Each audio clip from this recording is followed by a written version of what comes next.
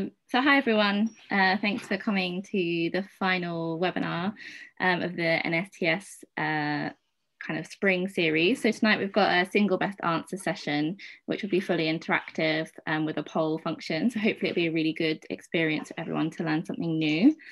And we're really excited to have Mr. Nabih Hanbali with us today. Um, he's a um, surgical trainee in Yorkshire at the moment, and he does a lot of teaching. So it's going to be a really great webinar. Um, I'll hand over to you, Nabir. If you need me to move on slides, if you can't control them, just let me know. Okay, will do. Thank you. Thanks very much.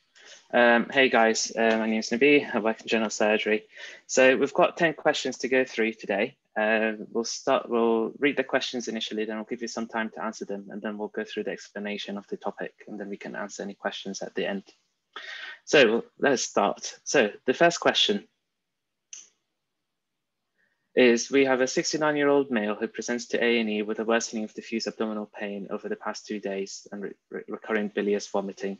He's not been able to pass her inflators for the past two days her abdomen is distended with tympanic sounds are heard on the auscultation and CT shows a transition zone in the mid-ileum with dilated small bowel proximal to this.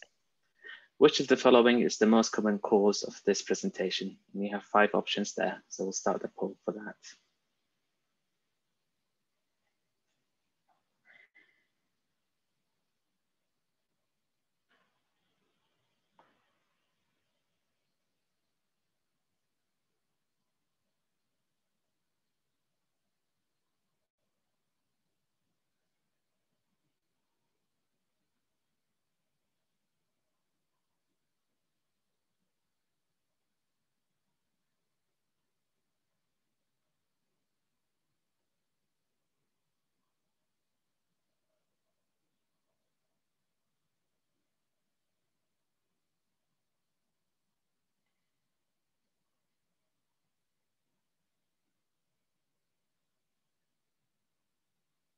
Okay, shall we share the results of the poll?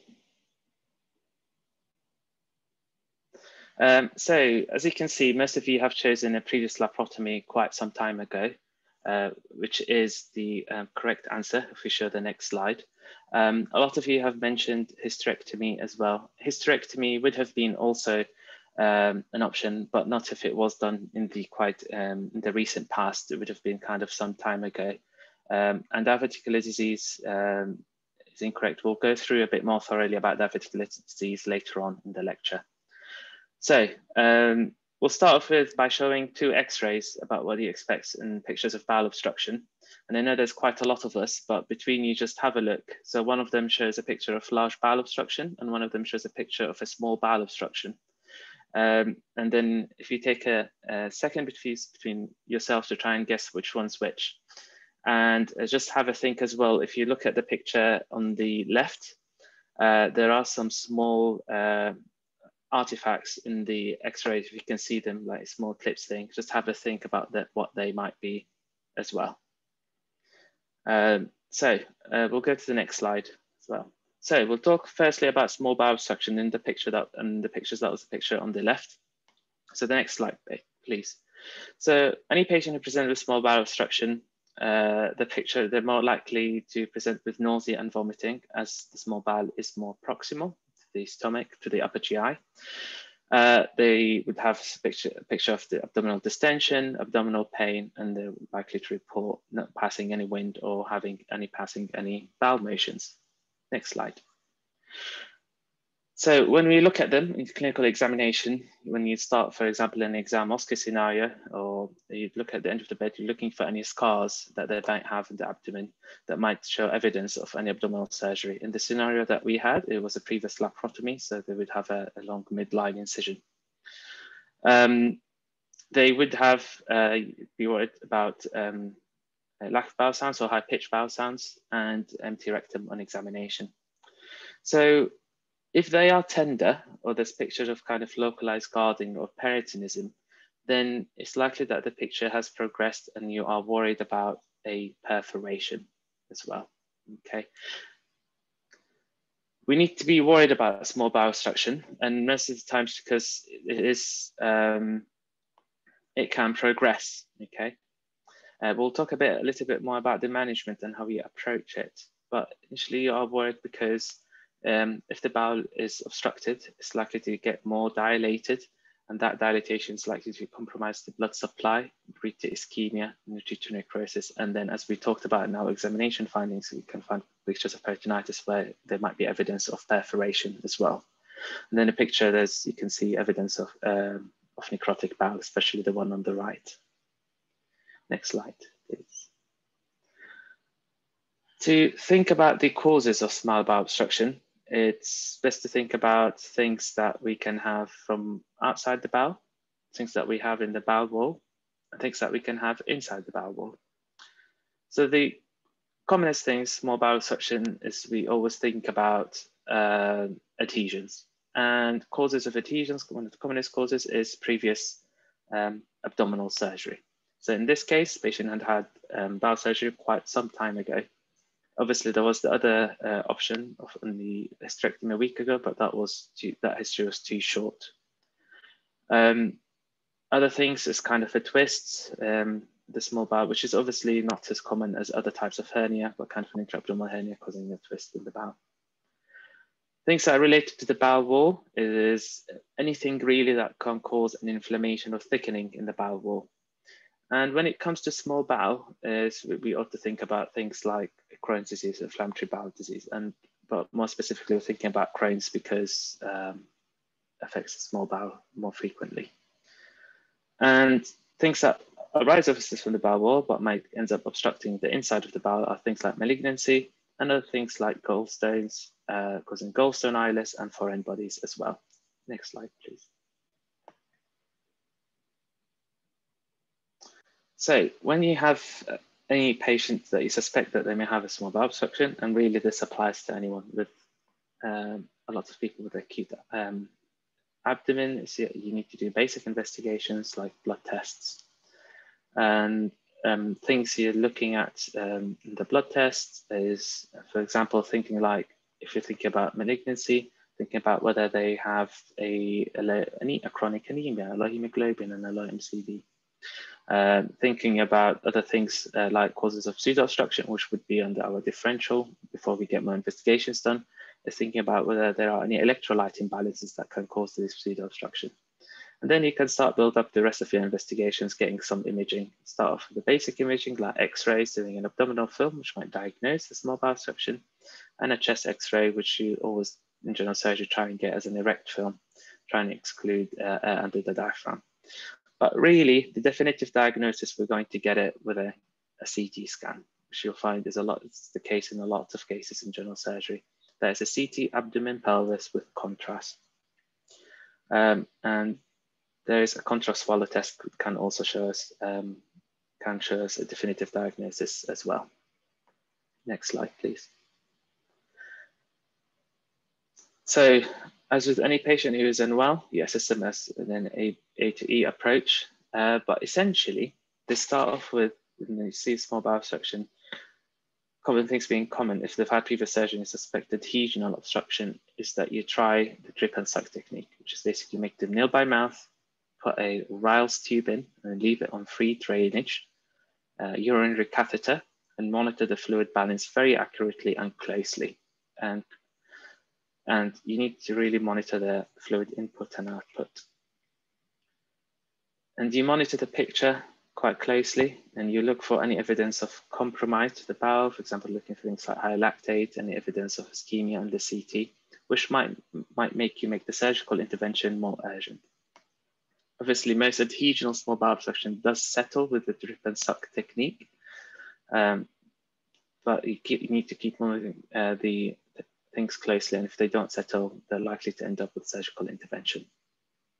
Next slide.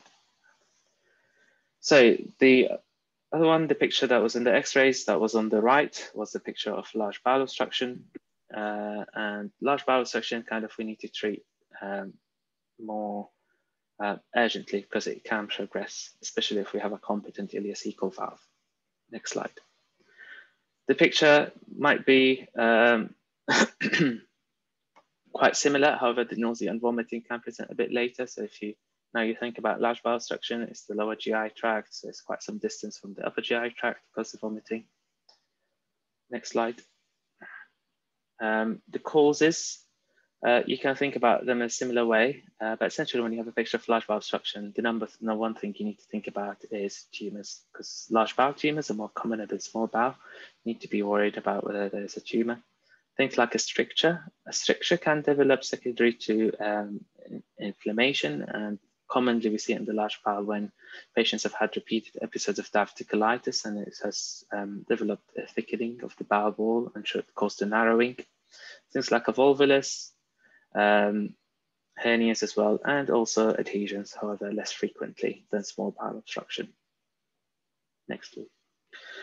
The uh, management uh, start off similar treatment small bowel obstruction is doing supportive things, um, giving them nil by mouth, make sure they have enough painkillers, antiemetics, IV fluids, catheter, things like that.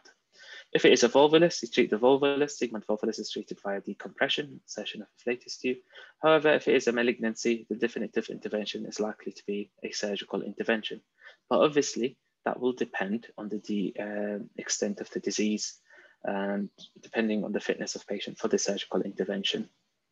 Um, that is normally decided in an MDT setting. And it's quite really important to note that now because a lot of the decisions that we have to take in surgery are when not to operate and when not to offer surgical treatment, when to offer other types of treatment. And palliative stenting can play a part in large bowel tumors. Next question, I think is now. So we'll move on to the next question. So we have a 68 year old male who presents to the general uh, practice with a two month history of fatigue and weight loss. They've noticed that he's opening his bowel more frequently and he has no past medical history or family history of note. Physical examination reveals cachexia and conjunctival pallor. The patient is referred for urgent colonoscopy, which reveals an exophytic mucosal lesion in the descending colon. The biopsies has shown adenocarcinoma, and the histopathology reveals that his lymph got spread to three lymph nodes, regional lymph nodes. There's no evidence of metastatic spread. Which of the following management plans is this patient most likely to benefit from? So we'll start the poll.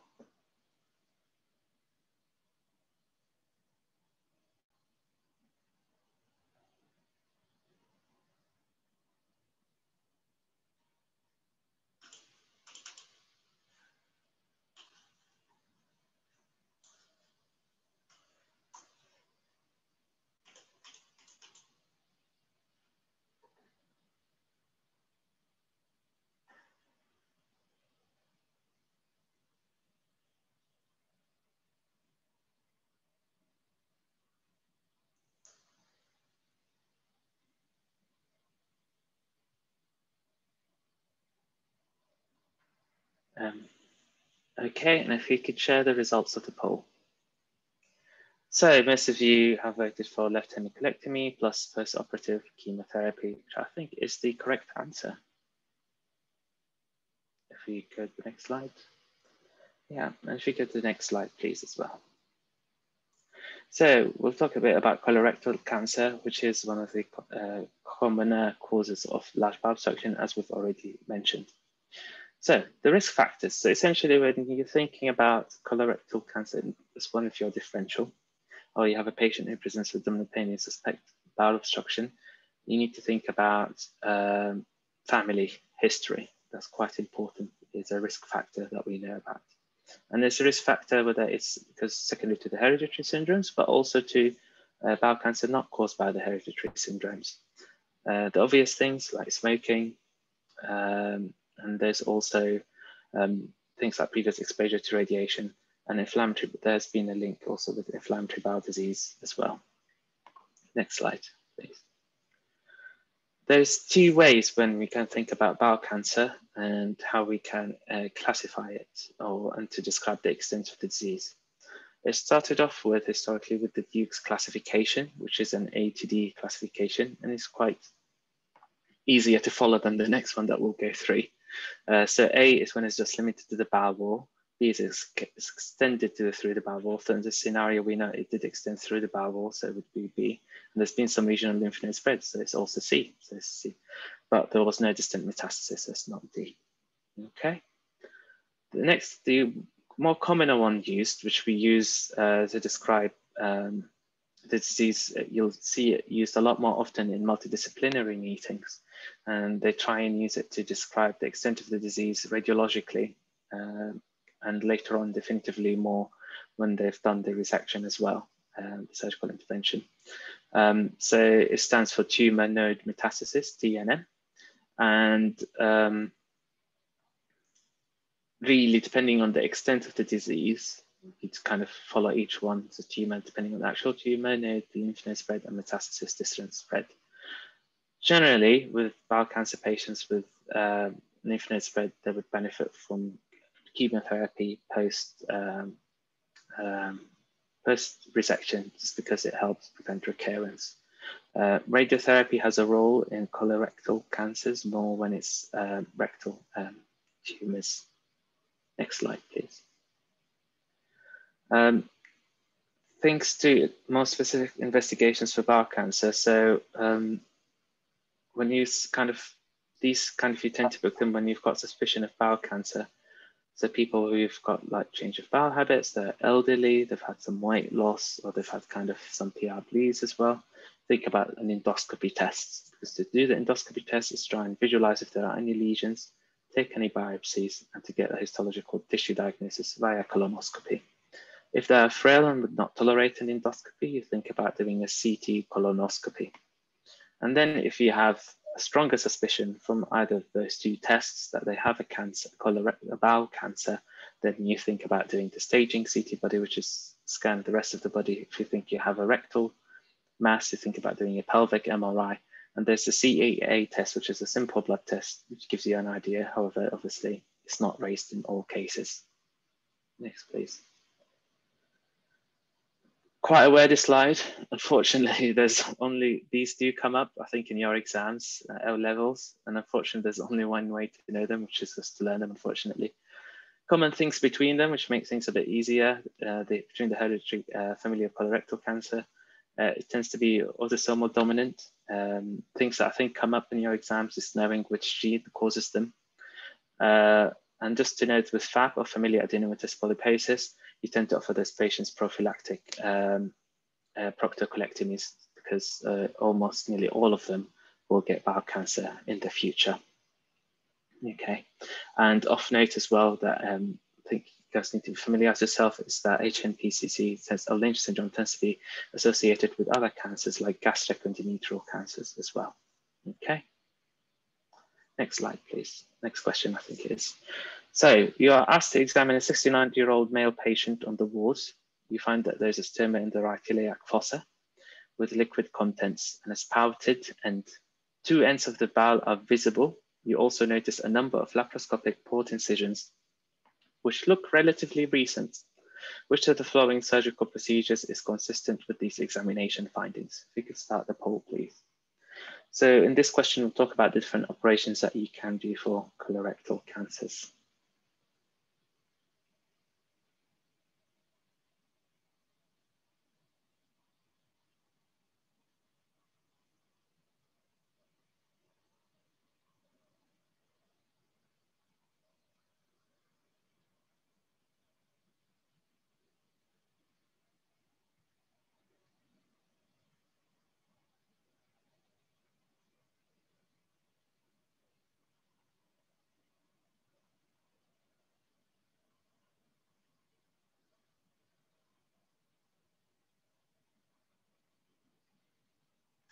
Okay, that's great. If we could stop the time there. So uh, most of you, 66% have said anterior resection with the temporary loop ileostomy, which is the correct answer, I think, Hannah, if you show us. So I think some of you have done abdominoperineal and we'll go through why that's not the correct answer. So if you go to the next slide. So we'll start off with by talking difference between ileostomy and colostomy. And this table kind of sums up the main things really. Ileostomy tend to be on the right side, uh, and more commonly, ileostomy, you'll have some, obviously can be end and can be latent in the right iliac fossa. The contents is, uh, because obviously they're higher up the GI tract than a, um, a colostomy. Because if you remember the large uh, colon or the large bowel job is to absorb the water, so the contents will be more solid. While in the ileostomy, they haven't, they haven't gone through the large bowel, so the um, significant amounts of water have not been uh, absorbed from the contents. Um, ileostomy has to be spouted, essentially kind of the end where the pee is coming out is kind of coming out a bit, little bit far away from the skin and essentially to protect the skin. Colostomy can be flush, flushed, uh, just because. Um, and colostomy, you could have loop or end, but most of the time they tend to be end uh, colostomies as well. Okay, next question, next slide, I mean. So just to go, I think some of you have done said I've done a perineum. So in this picture, you can see kind of different resections that you can do. A lot of them are kind of obvious. A right hemicolectomy if the cancer is on the right side, left hemicolectomy if the cancer is on the left side. Subtotal colectomies and uh, proctocolectomies, they have a role to be done in tumors. However, for example, subtotal colectomies tends to be done frequently for, and panproctor frequently for patients with ulcerative colitis. So we do a subtotal colectomy if there is a plan to do an ileoanal pouch later on. And panproctor, for example, if the disease has progressed or we think there's no option to do the ileoanal pouch. The difference between abdominoperineal and anterior resection is that abdominoperineal is done for tumors which are a lot lower down. Essentially, it's a lot of lower down that you need to take out the anus. And the patients would end up with an end colostomy. So all patients who have an abdominal perineal resection would end up having an end colostomy. Um, anterior sections can be high or low, that's just depending on the site of the tumor. And most people, they tend to be joined up and don't have a stoma. However, depending on the patient's age, comorbidities, and sometimes just the difficulty of the procedure at the time of the operation, there can be a decision to form a stoma. For example, during the COVID pandemic, because um, there, there was an approach in some places um, uh, because of worries of kind of uh, if we do a join between the two bits of power um, and then we don't do a stoma, and then there might be a leak and then we expose the patients and the staff to another risk of coronavirus because we have to take the patient to theatre again to deal with the leak and form a stoma. Some surgeons were um, uh, offering to do a prophylactic stoma just to prevent them going to theatre again, okay? Um, and so just give you an idea of different people's approaches. But really, a lot of the time is decided depending on the patient comorbidities and the difficulty of the procedure at the time and worry about leak or not between the joint that is made. Next slide. So the next question is, so we have a 55, I think we're moving away from cancers now. So a 55 year old female patient presents to the emergency department with pain in the left lower quadrant associated with nausea. She has no past medical history of note, but prior to the episode does report occasional constipation. On physical examination, she is pyrexial and there's tenderness on palpation in the left lower quadrant. Temperature is 37.7, hemodynamically stable otherwise, urine dipstick is negative, which of the following investigation findings is consistent with the most likely diagnosis? The poll, please. Thank you. We'll do 45 seconds and then close the poll.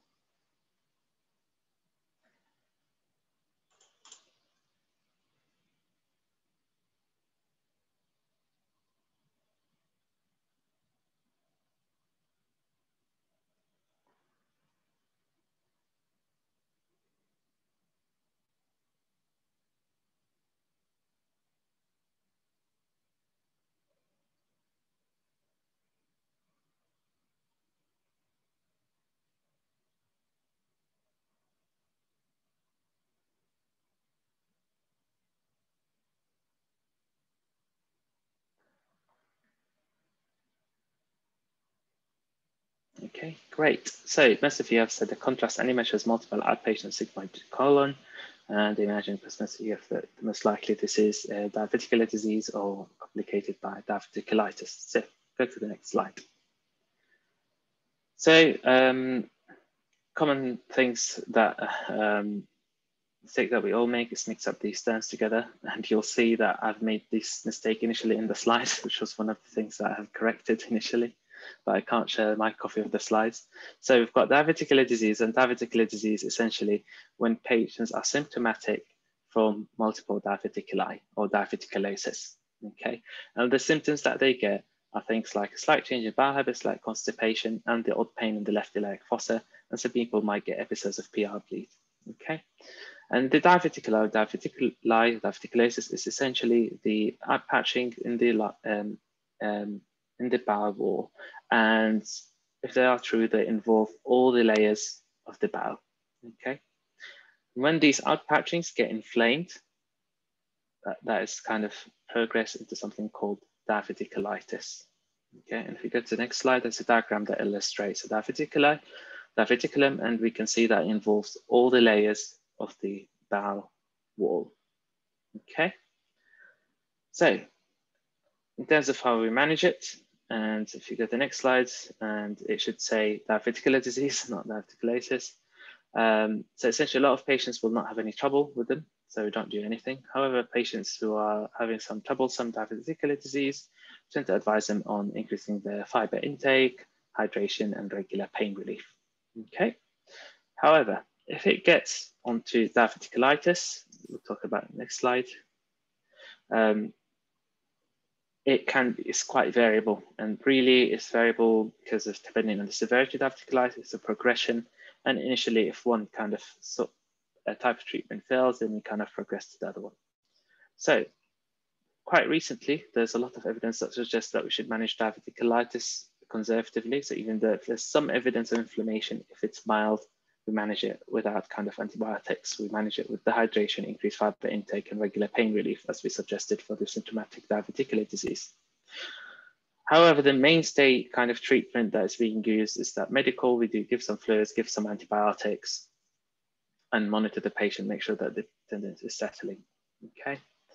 That's really the mainstay medical treatment. If things progress or if they're presented quite severely, for example, um, diverticulitis can progress into diverticular perforation and diverticular abscesses.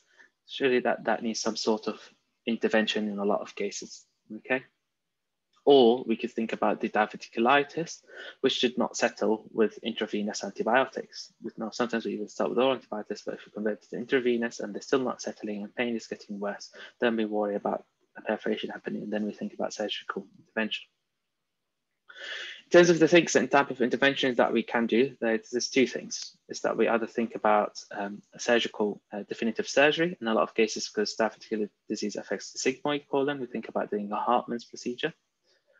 Or if there's kind of an abscess or patient might not be fit for surgery, we think about interventional radiology and things like draining the abscess uh, under uh, radiological guidance like ultrasound, things like that, and leaving a drain in. And that will all depend on the clinical picture and how it does, how, how it progresses. Okay. Next slide. So uh, I'm quite aware of the time, but I think the questions will kind of explanations will can become a bit shorter as we go on, so we should be okay. So next question is that we have a 55 year old male patient presents to the emergency department with a two hour history of severe pain in his right leg. Patient has a past medical history um, of um, rheumatic heart disease. The patient is a non-smoker. On physical examination, the right calf is pale and cold and tender to touch. The dorsalis pedis, posterior tibial and popliteal pulses are impalpable on the right side. Capillary refill time the right toe is four seconds. The patient is unable to move their toes on the right side and there's reduced sensation with touch over the dorsum of the right foot. Examination of left lower limb shows no abnormalities. The radial pulse is irregularly irregular. Which of the following is the most appropriate definitive management? If we could start the poll, thank you.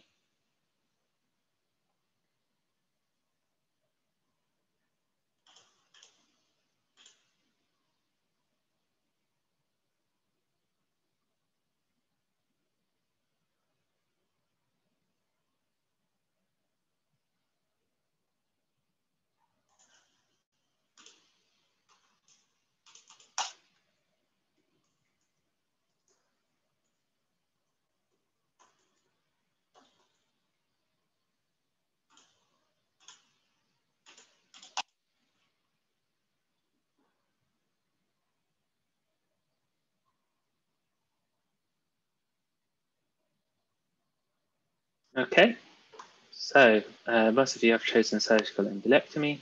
So in this patient, uh, we know that they've got a some sort of um, surgical emergency in the leg. Um, they've got atrial fibrillation because we know regular irregular pulse, so it's most likely they've got an emboli that we need to do an embolectomy for to try and rescue the leg. So they've got an acute limb ischemia. Other people have mentioned IVF and streptokinase. They can have a role in the initial workup, but in terms of definitive management to try and solve this problem is surgical embolectomy. Okay, next slide. So um, you think about acute, less than two weeks. Limb ischemia is when you have hyperperfusion. So when you have a severe symptomatic hyperperfusion of a limb for less than two weeks, you've got to think about acute limb ischemia. Next slide. So in the question, we were shown the six P's, the patient's, uh, the pulselessness, that's painful, pale, paralysis, paresthesia, and perishingly cold. Obviously, the symptoms tend to start with uh, pain, reduced pulses, um, and then kind of progress more severely into the key uh, complete paresthesia and paralysis. Those tend to be later signs. Okay, next slide. So the causes are mainly either thrombosis or embolism. Vasospasm is meant to be on a new line, apologies. Um, other causes are the vasospasm or external vascular compromise. So um, the main ones that you guys probably need to know about are the thrombosis and embolism. And then the next, I think the next slide will talk about the management of either of them. Oh, so we'll start off with how you manage the patient with acute limb ischemia. So uh, is an emergency, as we said, kind of with the small bowel suction. You use the A to E approach to manage any patients with these acutely unwell. So airway breathing, circulation, stability, and exposure. So um, make sure that they are on oxygen. We have some sort of ischemia, hyperperfusion. They'll need fluid resuscitation and pain relief. Okay. Um, think about kind of uh, you need your blood test and theory thinking blood test is as a big investigations but also you need to be thinking this patient is likely to need an intervention. I need to know their coagulation coagulation screen and need to need to need to do a group and save as well. A venous blood gas because you're thinking about hyperfusion you're checking the lactate checking if they have any factors of acidosis ecg to diagnose the uh, atrial fibrillation. And obviously thinking about depending where you are, are you on the ward, are you part of the emergency department team, you need to involve the vascular team early because we need to get this patient to a definitive intervention. And they would be able to advise you in terms of what intravenous treatment to start, um, such as the heparin, and keeping the patient nil by mouth. Next. So if it's emboli, you need to do an embolectomy as soon as possible thinking about thrombosis. So thrombosis uh, in the acute is unlikely to present acute suddenly. Thrombosis is kind of a buildup. Uh, you'll need to, so it's likely to be done more in the elective setting. So you do some angio, you do some imaging to try and see where the occlusion is, and then you can plan. We'll talk about the different surgical things that you can do a bit later on.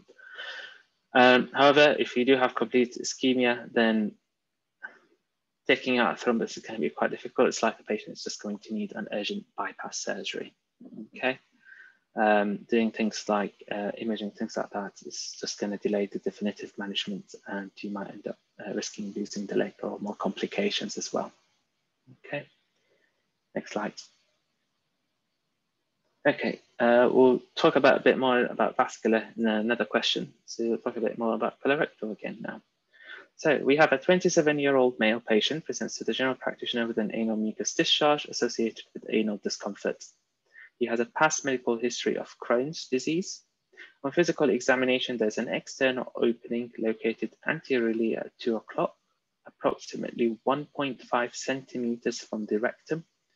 Which of the following accurately describes the location of the internal opening of the fistula?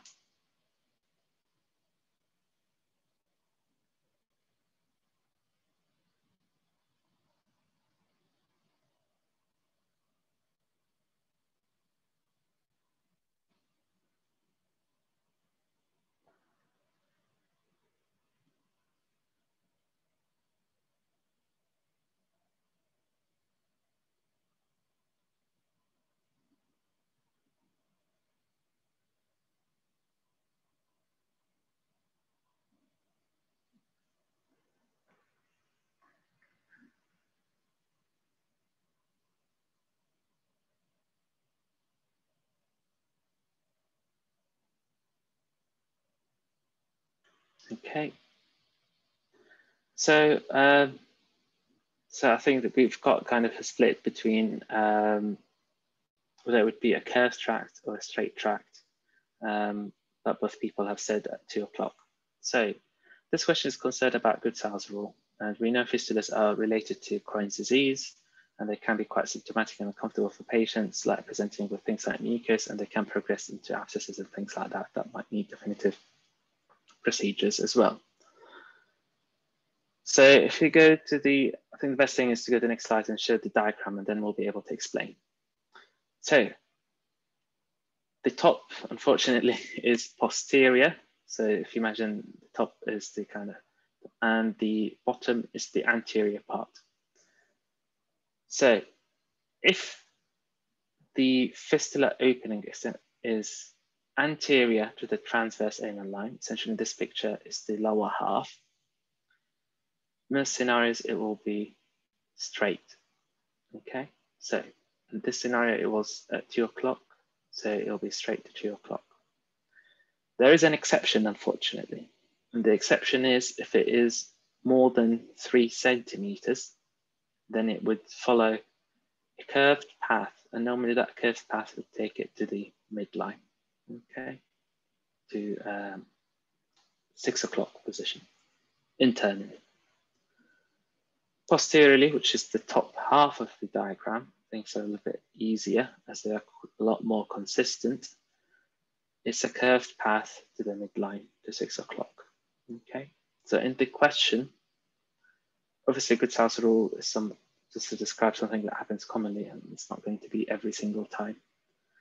In the question, the position is two o'clock, it is anterior and it is 1.5 centimeters. So the exception anteriorly is only if it's over three centimeters so it would follow a straight line to two, to two o'clock, okay? I hope that's all right. We can go through a bit later on if people want us to go through. Okay, let's go to the next question. So we have a 70 year old male who presents to the general practitioner with a one month history of a lump in his right groin associated with discomfort.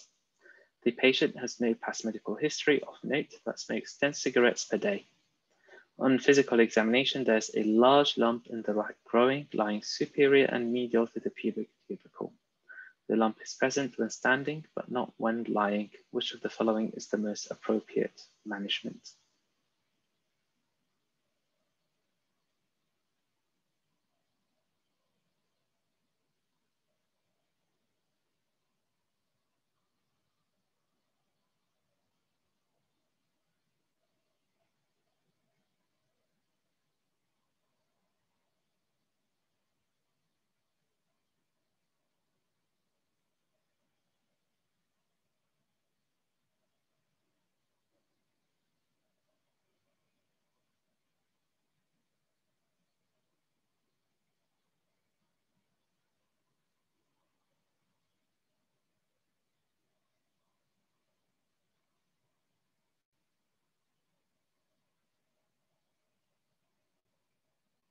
Okay, if we close the poll. So I think most of you have said A, which is laparoscopic mesh repair. Um, and obviously the second top answer is E, which is watchful waiting. Okay, so I'll address E first. So we've got a patient who, they are 70, uh, but we note that they have no past medical history. Obviously, they are smoker for 10 cigarettes a day, which is significant and needs to be considered. But apart from that, we don't have anything that would make us think that they shouldn't have the surgery. Okay, so if they are symptomatic and they are suffering because of the hernia, we would offer them repair. Now, the next things to discuss is um, whether we do laparoscopic or open mesh repair. Obviously, if we have two small hernias, inguinal hernias, it's quite straightforward. You think about, we'll just do laparoscopic, it's easier. One procedure, you do both things. Otherwise, if you do inguinal, you have to think, we're not really going to do both at the same time. We're going to do, and we're going to do them at two different procedures and things like that. So do laparoscopic. The questions becomes raised obviously when um, if it's only unilateral on one side, are you going to do it laparoscopic or are you going to do it um, open, okay? The only thing that will point you in this question that you should do it open is that it does say it's quite, it's quite a large lump, okay? And essentially, if it's quite large and things like that, then you'd be more keen to do it open repair. I appreciate a lot, most of you have said laparoscopic. You're not, uh, can't say you're incorrect. It's just kind of in the question, we tried to point it out towards that you would go down the open route rather than do the laparoscopic route. Okay. Shall we go to the next slide? So uh, the question, it tells us superior media, so we think about um, um, uh, think about um, inguinal hernias. If it's inferior and lateral, think about femoral hernias. And obviously they're at a higher risk of strangulation. So inguinal hernias need to try and differentiate between indirect and direct. Direct tends to be more in the elderly, indirect tends to be in the younger population. So indirect, because they are coming out through the deep ring, they're following kind of with the cord structures. So they're more likely to go to the scrotum in males, okay? With direct, because it's an abnormality or not a defect in the posterior wall, so it's, it's unlikely to go all the way down to the scrotum, okay? The indirect is a kind of, um, imagine if they're going through the deep ring, um, so it can be quite narrow, they're more likely to strangulate. However, the direct, they're going through a defect of uh, posterior abdominal wall, which have kind of might have formed over the years, is they're more likely to strangulate as well. Okay. Next question. Okay, so you are the FY1 on gastroenterology ward. 53-year-old alcoholic is being managed on an acute with an acute episode of pancreatitis after drinking two bottles of whiskey two days ago. Despite adequate management, he begins to deteriorate. You take some blood test and an arterial blood gas. Which of the following is the poorest prognostic indicator for pancreatitis? And I think the poll has already started.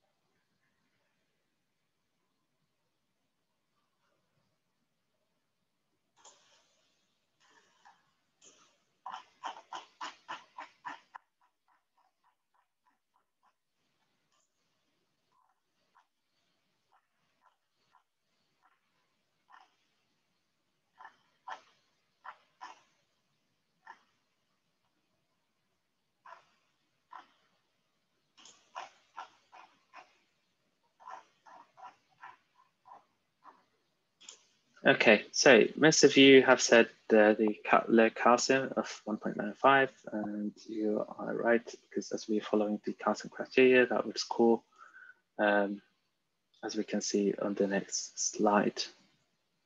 So we'll talk a bit about pancreatitis. So the Butterfly criteria is one of the commonly used uh, predictors of severity of pancreatitis, and essentially, if you score three or more, you have to think whether this patient needs to go to intensive care or you get least involved in intensive care.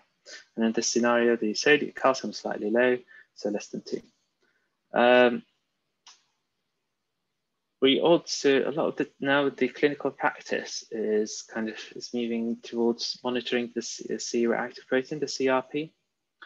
Um, so um, if I was to rewrite the question, I would write the CRP a lot lower because it is used as a predictor of kind of severity, but we're looking more of the trend of the CRP that in more practical clinical practice, the CRP is used quite frequently these days. Okay. And the mnemonic is quite easy to, uh, to follow because it just follows the word uh, pancreas. So I'll go to the next slide. Causes. Uh, there's a long list. Two things need to be aware of. It's either gallstones and alcohol or can be iatrogenic as well, find a cause. Um, so far, the ones the ones, the rare ones that I have seen. I've seen pancreatitis secondary to uh, uh, recent use of prednisolone, to steroids. Seen it after an ERCP. The other ones, and uh, I've seen hypertriglyceridemia as well. I haven't seen the other ones yet, but never say never. But the two commonest ones essentially that you need to be aware of when we see them most frequently are gallstones and alcohol. Okay, next slide. And this is slide just for you guys, just a list of examples of different medications that can cause pancreatitis. Next slide, please. So pancreatitis, how it presents, it'd be typical epigastric pain, sharp stabbing, sometimes goes through to the back. Obviously, uh,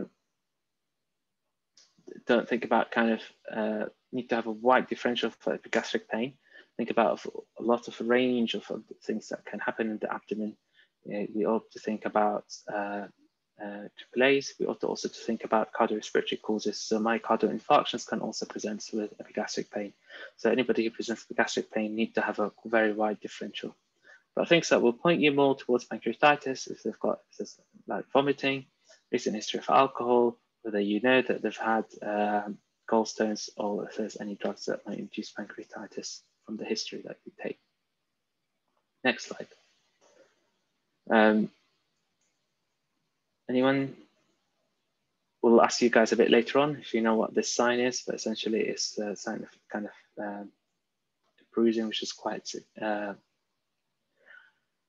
indicative of pancreatitis, so it tends to be quite severe. And later on, we'll ask you a bit guys later on about the sign. Next slide. So blood. So essentially the diagnostic um, test is um, looking at amylase, or more recently we're using lipase a lot more frequently. Um, and essentially, if it's elevated, a lot of textbooks are saying three, but really it's time four or more. Amylase needs to be quite high. The most sensitive and specific test is lipase.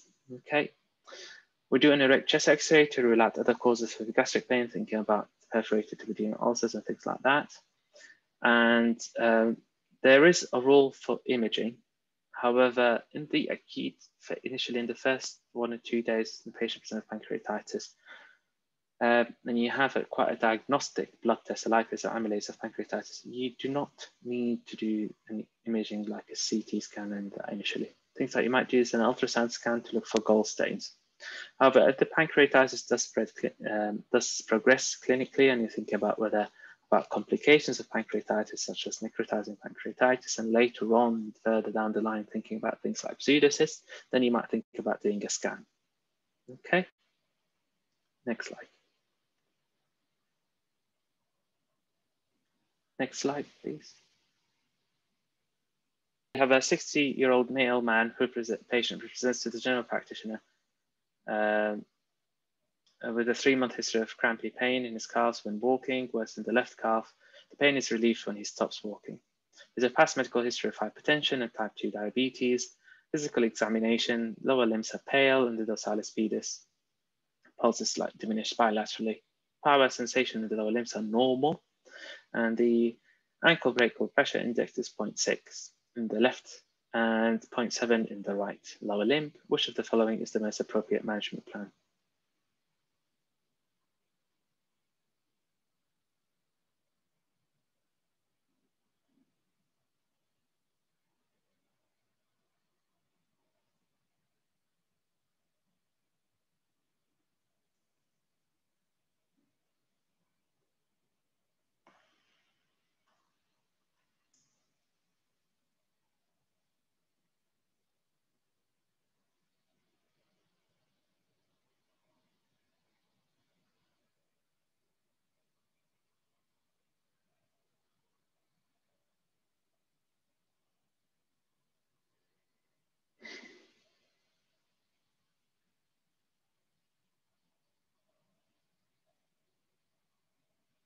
Okay, so of you have chosen D, and looking at the answers is that all of them need some sort of exercise. The question is whether which antiplatelet do we use and to clopidogrel, and what does statin we need to use. Essentially, uh, we've already diagnosed them that, that they have the certain disease that we're going to talk about essentially, and we've moved on from that primary prevention to secondary prevention. So we need to talk, they need to be on the higher dose of the statin. That's why it is B. Um, so so essentially now we're going to talk about uh, chronic limb ischemia. Next slide. So um, commonest cause is atherosclerosis. And uh, it's because that you could have um, a narrowing of the arteries. Okay, risk factors are your typical cardiovascular risk like smoking, diabetes, high blood pressure, uh, high cholesterol, and lack of exercise and obesity. Next slide, please.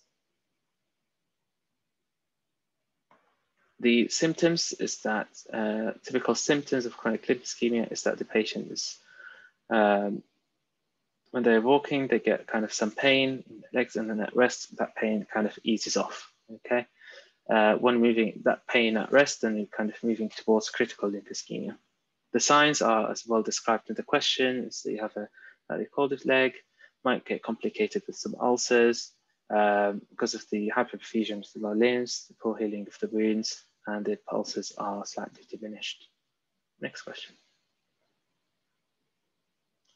The investigations that we do, so the quite specific test is the ankle brachial pressure index, and essentially looking at the ratio of the blood pressure between the ankle and the normal blood pressure measurements. And if it's low, then you've got some a sign of a, a, a limb ischemia. Um, the other investigations are more targeted towards your cardiovascular risk factors assessment. And essentially the ones that we talked about, things like diabetes, so you check their blood glucose, uh, high cholesterol, so check their lipids, um, doing a heart trace and checking the basic bloods and blood pressure as well manage if they have anything like blood pressure, if they have anything like hypertension. Next slide, please. Um, just the range of the ankle brachial pressure index to know. So if it's less than five, tend to call it severe. Okay. And if it's higher than normal, then we're thinking about diabetes sticking with the vascular walls. Okay. Next slide. So I'm rushing slightly. I'm just aware of the time. So there are different imagings that you can do. Um, can be ultrasound based, MRI based or CT based. And essentially, test they're mainly doing is to get a picture of the arterial tree and where you have the narrowing, where you have the obstruction. Okay, that's the main reason that you are doing them. And that is uh, to look at the degree of the narrowing, um, how significant it is, and also that these images would be used whether you're going ahead to plan any surgical intervention that you might do later on. Next slide, please. In terms of your management, it has to be threefold. So the first thing that we already talked about, we've mentioned a few times. So we know that the risk factors are mainly the ones that also relate to cardiovascular risk factors. So the initial part of the management, medical part of the management is managing the, the cardiovascular risks. So giving them an antiplatelets, managing their cholesterol, managing their blood sugars, and um, any hypertensives they might need if they have blood pressure, and stopping smoking. Okay. The second part, which is on the next slide, is managing their uh, pain. So make sure that they have appropriate analgesia, essentially just to, um, the quality of life. And the third part is when we come to surgical um, management. And the options are, there's a, depending on, on the extent of the atherosclerosis or thrombosis, we need to think about revascularization. And that can be through um, the vascular interventions, or we could think about bypass surgery as well. And at the end of the uh, spectrum in terms of surgical intervention, you need to think about amputation. Um, yeah, next slide. Okay, next question. Uh, so we've got two quick questions at the end. So the cystic artery is most commonly a branch of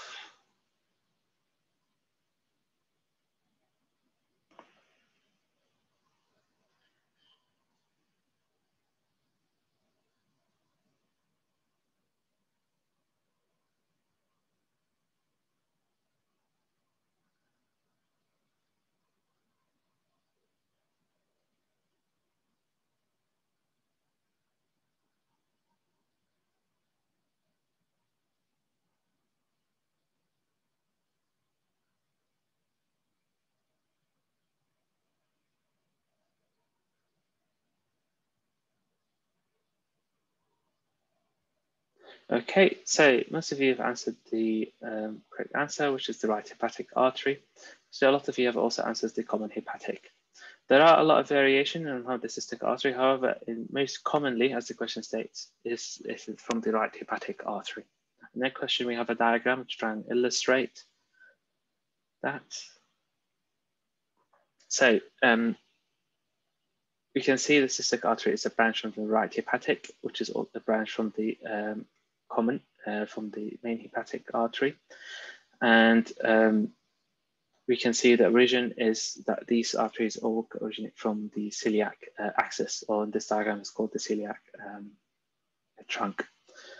Cystic artery is quite an important uh, landmark because thinking about um, its importance in laparoscopic cholecystectomy surgery. Um, it's one of the things that we need to ligate. Um, to identify it, we think about something called the Calot triangle. The borders of um, triangle is superiorly is the inferior uh, border of the liver. Uh, superiorly, inferiorly is the uh, cystic duct, and um, medially is the um, uh, hepatic uh, duct. And that is something that we try and delineate in uh, laparoscopic cholecystectomy surgery to try and identify the artery. Next slide, please.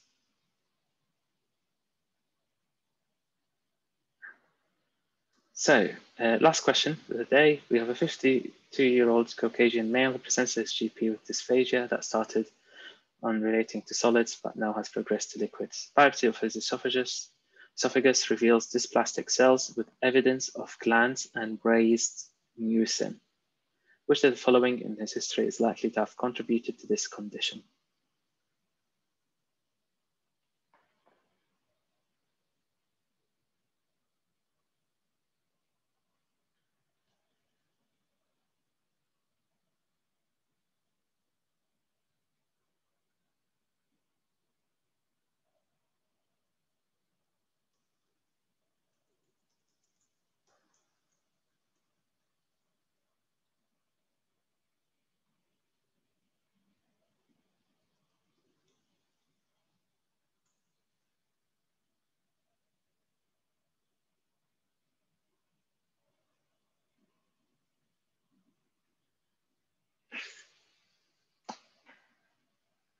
So um, I think most of you have said C. I think the correct answer is A, obesity, and we'll talk about that.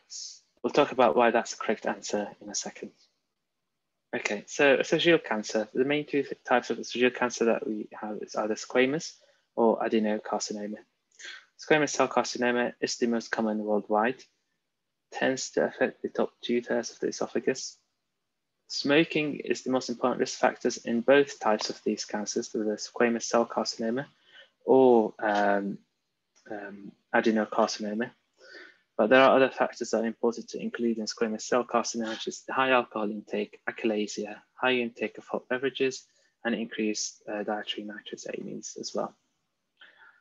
However, in adenocarcinoma, next slide, tends to be a progression of um, Barrett's um, esophagus, which is caused by gastric reflux, gastroesophageal reflux disease, which has an association with obesity, and that's why obesity is the correct answer in this case.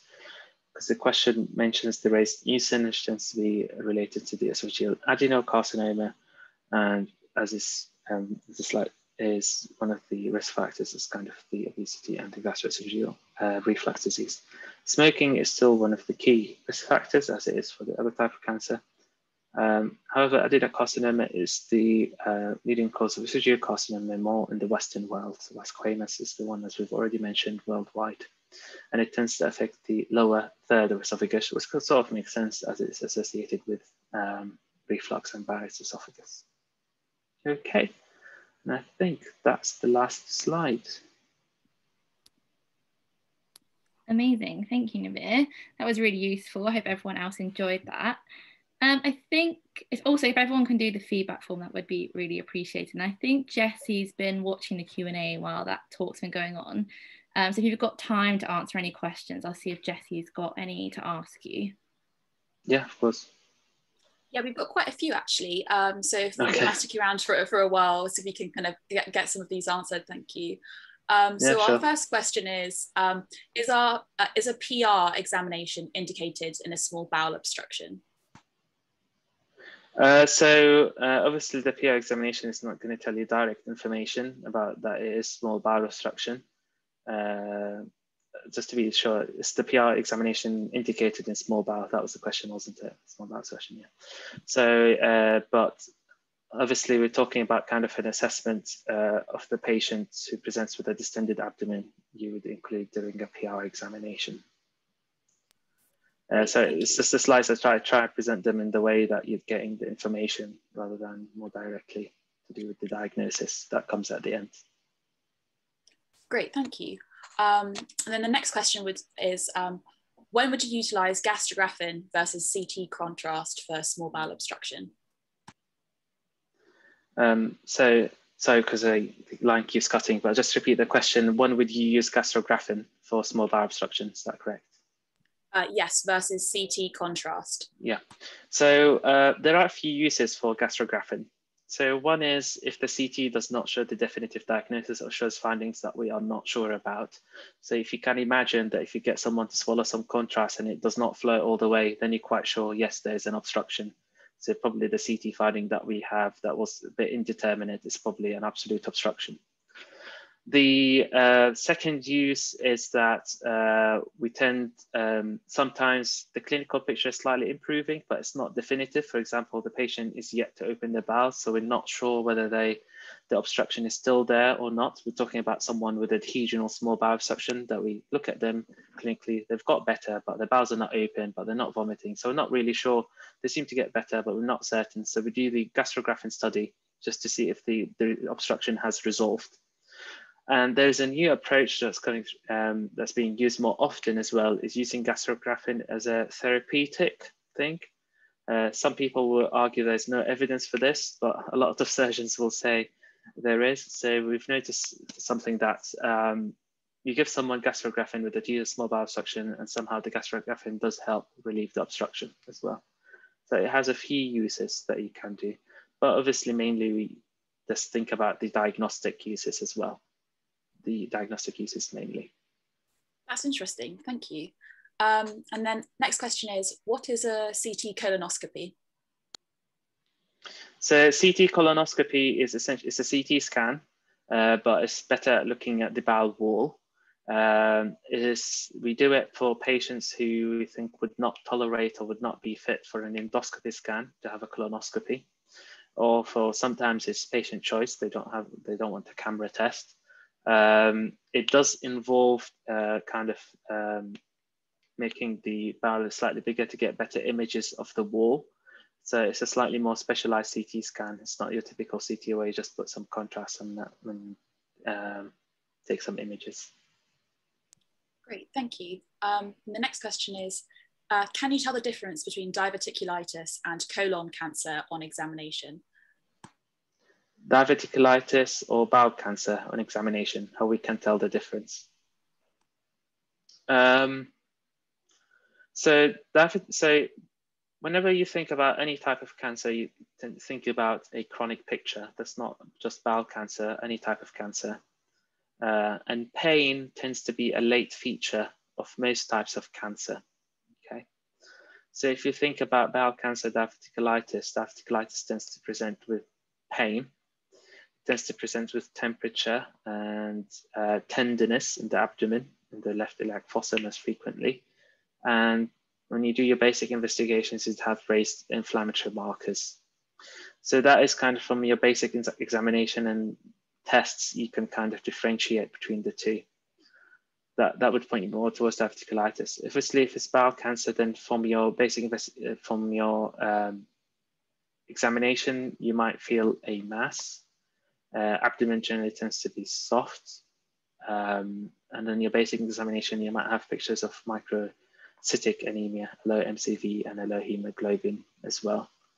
Um, so it's just thinking about dactylitis is more acute, while cancer tends to be more chronic, obviously, and you normally get the answer when you do the definitive test just as a CT scan. Great, thanks. And kind of just following on from that, one of them that we've had is um, uh, for chronic limb ischemia, why clopidogrel and not aspirin? And would you consider dual uh, antiplatelets in the short term? So why clopidogrel? Um, I'm not sure exactly, but I'm just sure it's related to the evidence. Um, I know there's kind of, when it comes to cardiovascular diseases, there's a question whether it's um, kind of aspirin or clopidogrel and things like that. Dual platelets you tend to use more with more directly cardiovascular diseases more often than um, other things that are related to peripheral vascular disease and things like that. Okay, sorry, I don't have a definitive answer for that. Great, thank you. And um, we can make this our, our final question then. So um, would laparoscopic repair normally be used for recurrent hernia and why? Would laparoscopic repair be normally used for recurrent hernia and why? Um, so it's just going to depend really. Uh, I can't really say for, um, uh, but as you can imagine, you'd, you'd like to do it laparoscopic because the mesh is already lying on the inside. Uh, but really with hernias, it's really quite dependable on each surgeon. So it's quite variable. Um, I can, so for example, in my trust center surgeons I've worked, the consultants I've worked with, they do a lot of them um, um, open. I can't remember the last time I've seen a laparoscopic. So it's just really quite variable. I don't want to give you an answer, uh, but that's it. As in uh, definitive, I think different people will give you different answers. Uh, but I think if you can imagine when you do it laparoscopic, the mesh is already lying on the inside rather than on the other side. So it will just really depend on the scenario and what procedure was done at the time that you will help you decide how to do the recurrent uh, hernia. But I'd imagine you'd be more lenient to do open.